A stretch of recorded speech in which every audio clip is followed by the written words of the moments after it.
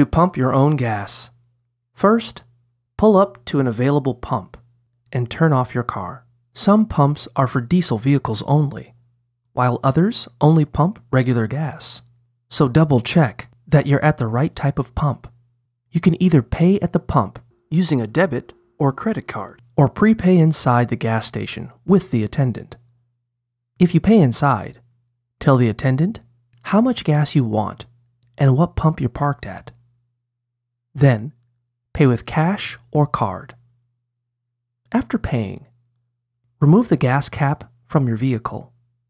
Remove the nozzle from the gas pump and insert it into the gas port of your car until it's snug. Most pumps offer three grades of gas regular, mid grade, and premium. Regular or mid grade gas is ideal for most vehicles, but check your owner's manual. If you're not sure, press the button below the grade of gas you want to select it.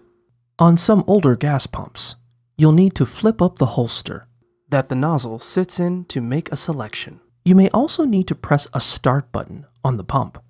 Next, squeeze and hold the trigger on the nozzle handle to start pumping gas into your car.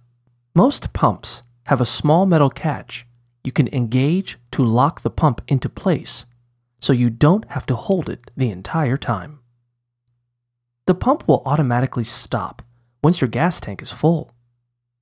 Or you can release the trigger to stop it earlier. When you're finished, remove the nozzle and place it back in the pump. Twist the gas cap back into place. Finally, use the keypad on the pump to accept or decline your receipt.